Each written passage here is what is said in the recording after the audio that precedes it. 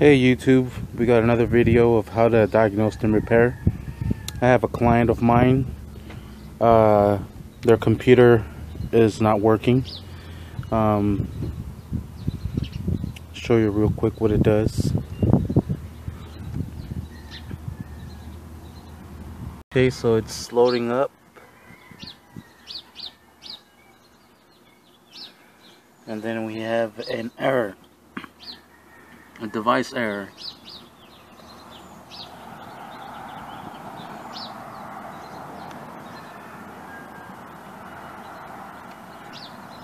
So we're gonna log into the BIOS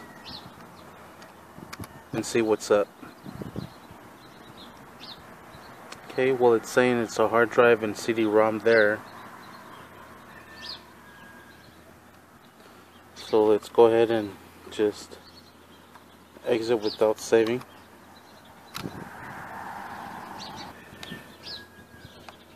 And turn it back on.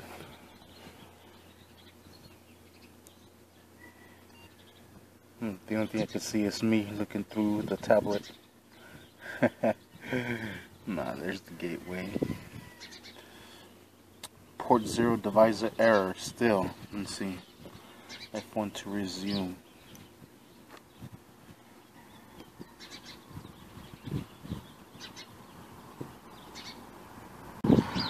So the motherboard's working because it's loading up the memory tests. Um, I don't know. Uh, the error eventually comes up with uh, select correct boot sector, I believe it is. I'm thinking it's the hard drive. They said that they uh, they unplugged the computer like three different times by just hitting the power switch or unplugging it from the power outlet. So I'm thinking the hard drive got fried. Still not loading anything up. We'll check on that in a little bit. Alright, we're coming up with a different error now, or a message. Windows failed to start a recent hardware or software change might be the cost to fix this problem. Insert your Windows installation disk, restart, choose your language settings, and then click next. Or click repair your computer. Uh, well, the only option it gives me is enter. OS selection. It said enter.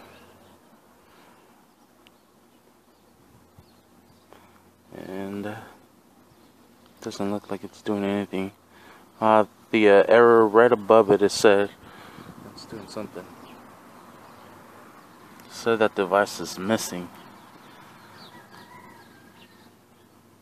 it might be missing the hard drive. no shit, right? Let's give it a second. Windows has incurred a, encountered a problem communicating with the device connected to your computer.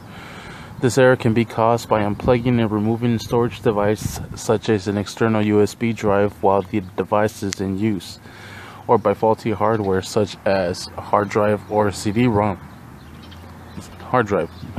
That's what I'm saying that it's messed up. Make sure any removable storage uh, properly connected, then restart your computer. If you want to continue receiving this error message, contact the hardware manufacturer. Unexpected error. Okay, so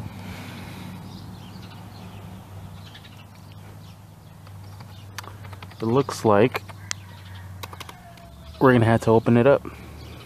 Yay because this is what we're opening. awesome. So let's open this up and ah, the message finally came up. Reboot and select proper boot device or insert boot media and select boot device and press any key. Yeah, it's a hard drive. We're gonna open this up. Good luck. Alright, so I went ahead and unplugged everything. Uh, not much to it. It just had power and USB. Um, so we have one, two, three, four, five, six bolts. Hopefully. So let's go ahead and get started.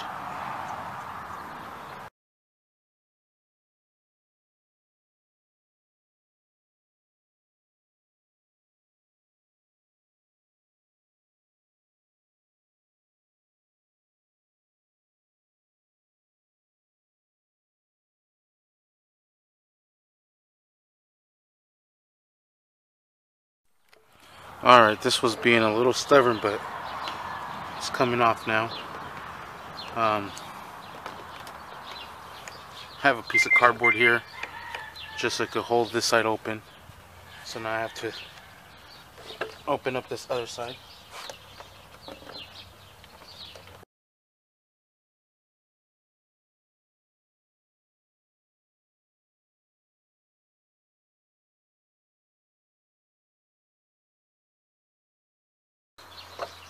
Looks like we're gonna have some more screws.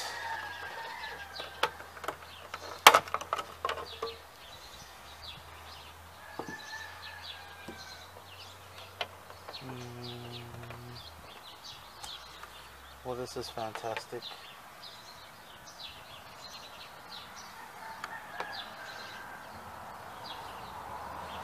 Okay. Let's see what we have to do.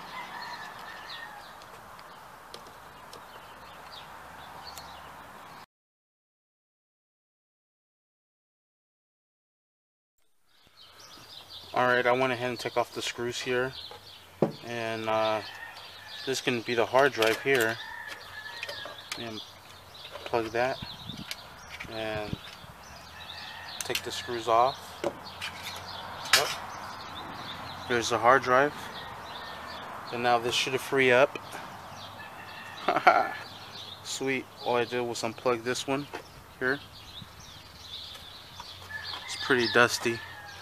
So we're going to go ahead and blow this with a blower. Get it all cleaned up. So we're just going to dust it off.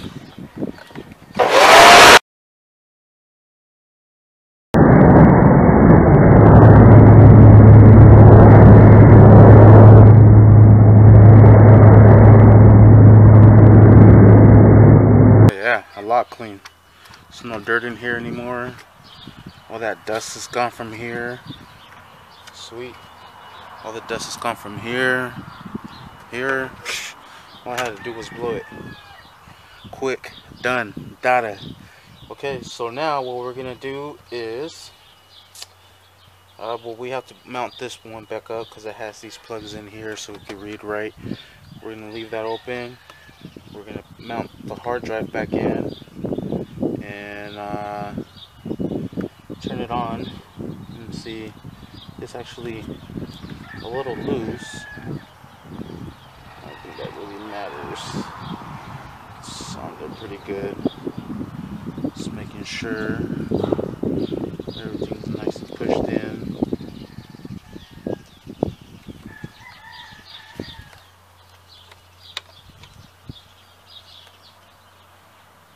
Okay.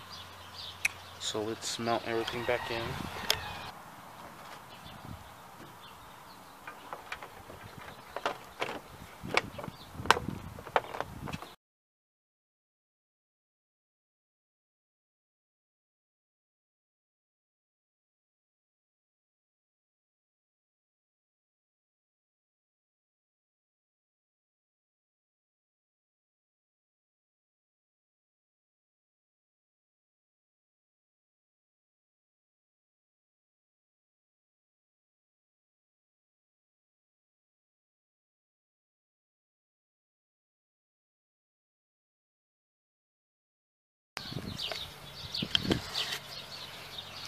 See what it tells us this time.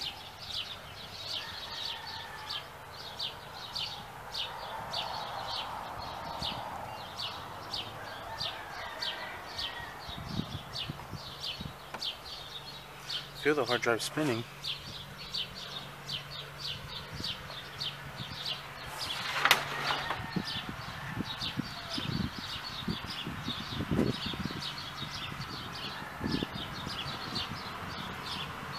Still giving the same error. Hmm. But the hard drive is spinning though.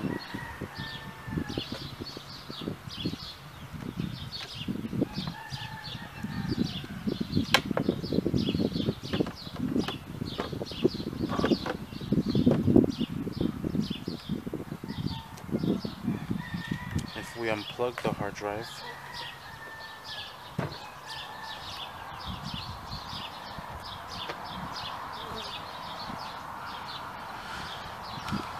try to turn it on. Let's see what happens.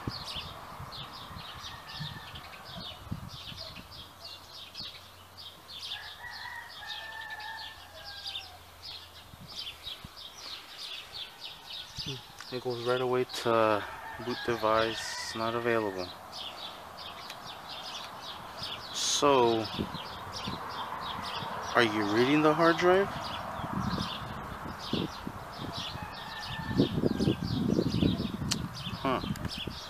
So I have an external hard drive that I took off and I put it on there. This is the old one. It has 750 gigabytes this one only has uh, 500 but the whole deal for this is to see if uh, the hard drive is bad this is basic troubleshooting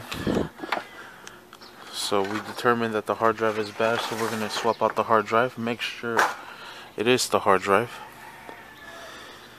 Uh, let's see what's going to happen here.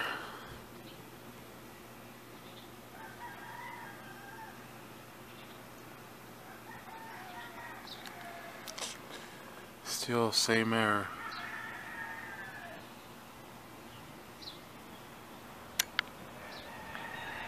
Now what I did was connect this other hard drive to my computer. I ran a check disk. Badge sectors. Hopefully this fixes it. Windows had has made corrections to the file system correcting errors hopefully this works alright so I'm making a bootable USB drive uh, for Windows 10 for the computer that I'm fixing 64-bit and what I'm doing right now is I'm converting the USB to a bootable USB with Windows 10 operating system so hopefully we'll give this a try with the new hard drive I have in there and hopefully it'll work. Okay, so I have the hard drive there now. And I made the bootable USB.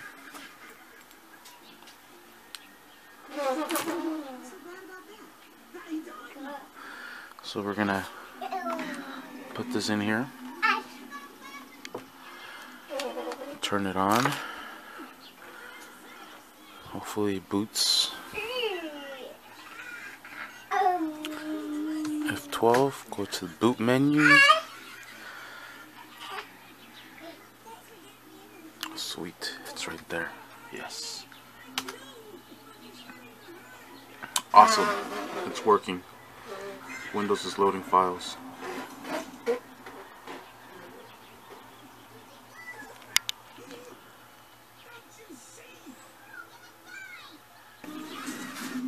Windows is starting. Yes. Cool. First steps.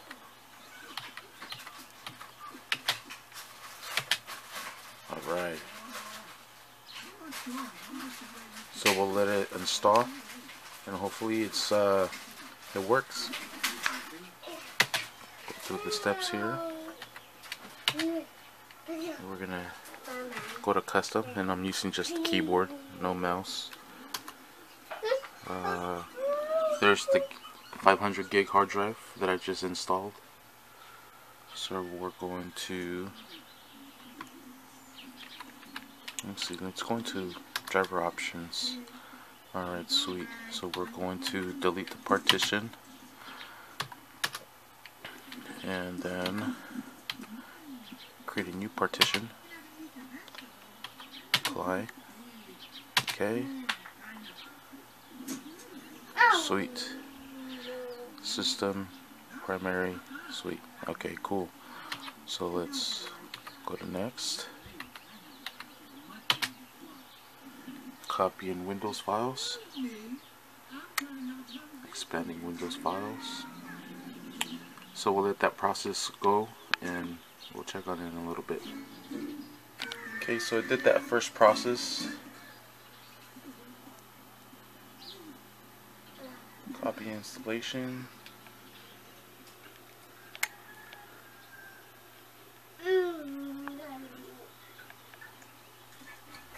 I have Windows 10 downloading over here. But can you see it? Six hours left. Four gigs. Wow. That's a long time.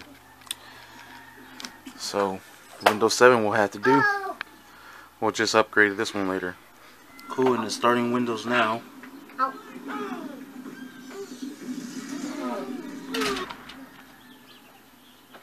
Just doing the system checks. Sweet, and we have the credential page here. We had to put in the username and password. So it worked. Uh, this computer is fixed. We'll just finish the installation and install Microsoft Office in it and get this product out. Thank you for watching. So we went ahead and typed in the username and the uh, password we're going to leave blank. Product key.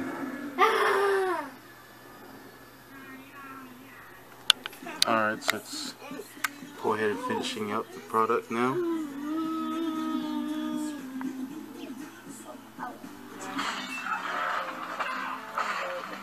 And there it is. Computer's fixed.